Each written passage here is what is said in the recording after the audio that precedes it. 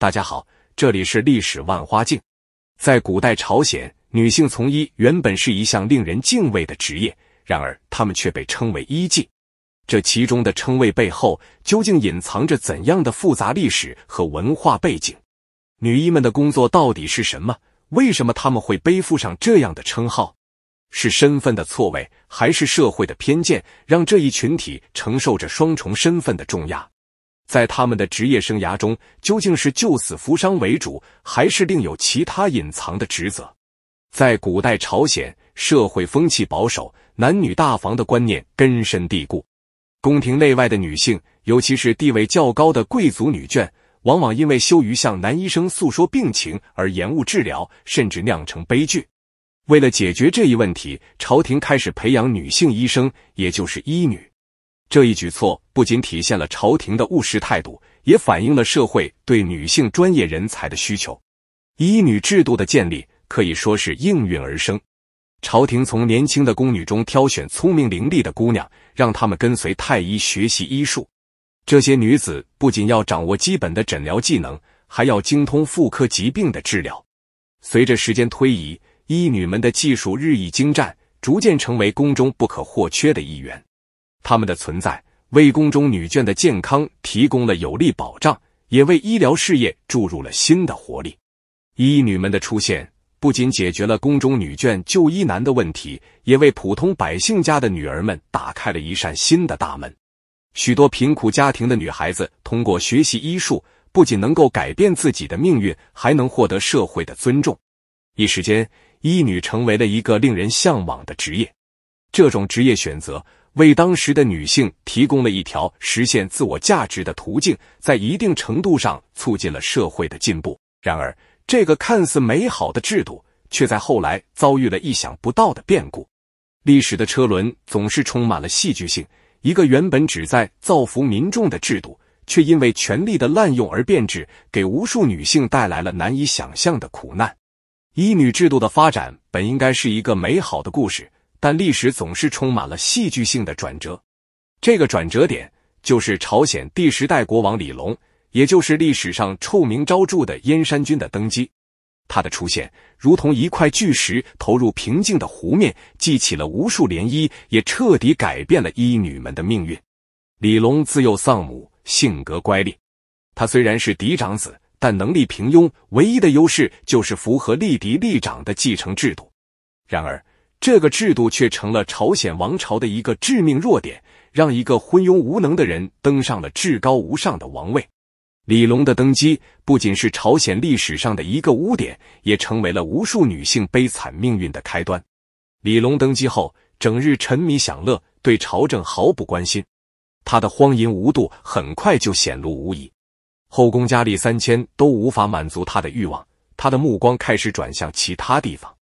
恰巧。太医院的医女们引起了他的注意，这个决定不仅改变了医女们的命运，也给整个朝鲜社会带来了深远的影响。在李隆的淫威之下，医女们的命运发生了翻天覆地的变化。她们不再是受人尊敬的医者，而是成了取悦君王的工具。李隆要求医女们学习歌舞，掌握侍奉君王的技巧。那些有姿色的医女更是被安排了难以启齿的工作。这种强制性的角色转变，不仅摧毁了医女们的尊严，也扭曲了整个社会的价值观。就这样，医女变成了医妓，他们的主要工作不再是治病救人，而是满足君王的私欲。这个转变不仅摧毁了医女们的尊严，也玷污了这个原本神圣的职业。医女制度的初衷被彻底扭曲，成为了权力滥用的又一个牺牲品。李隆的所作所为在朝中引起了不小的震动，然而在绝对的权力面前，大多数人选择了沉默。那些敢于进言的大臣，往往会遭到严厉的惩罚，甚至丢掉性命。于是，越来越多的人选择了明哲保身，对李隆的荒唐行为视而不见。这种集体沉默不仅助长了李隆的气焰，也加速了整个社会道德的崩塌。更可悲的是，一些王公大臣看到李隆的所作所为，非但没有感到震惊和愤怒，反而起了效仿之心。他们私下里也开始设立医妓，将这种陋习带到了民间。这种行为的蔓延，使得原本局限于宫廷的恶习开始在整个社会中扎根，对社会风气造成了巨大的负面影响。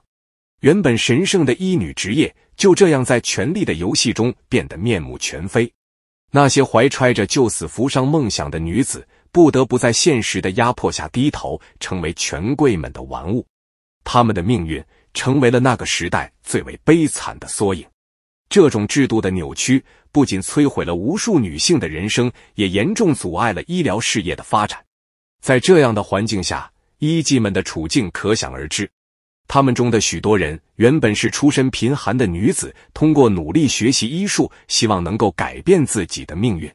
然而，命运却给他们开了一个残酷的玩笑，他们的梦想被无情的粉碎，曾经憧憬的美好未来变成了难以摆脱的噩梦。有些医妓试图反抗，但很快就发现自己的力量是多么渺小。在那个等级森严的社会里。他们连最基本的人权都无法保障，更别说反抗君王和权贵了。许多人只能选择逆来顺受，在痛苦和屈辱中度过余生。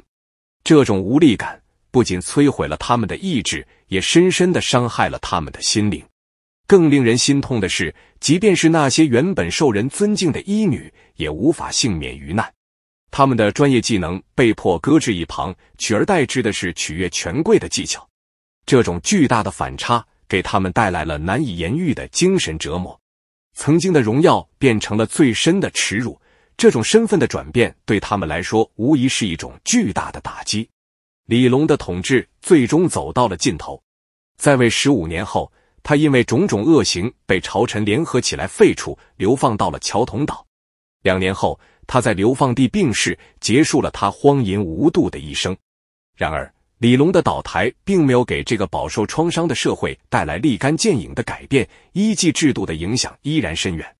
然而，李龙的倒台并没有给医妓们带来解脱，这个制度已经在社会中扎下了根，成为了一种难以根除的恶习。即便是在李龙被废除之后，仍然有不少王公大臣私下里保留着医妓。这种现象的持续，反映了社会道德的沦丧已经到了一个相当严重的地步。医妓制度的存在不仅摧毁了无数女性的尊严和梦想，也严重损害了医疗行业的声誉。曾几何时，医女还是一个受人尊敬的职业，而如今一提起医女或医妓，人们想到的只有那些地位卑贱的青楼女子。这种观念的转变，对整个社会的价值观产生了深远的负面影响。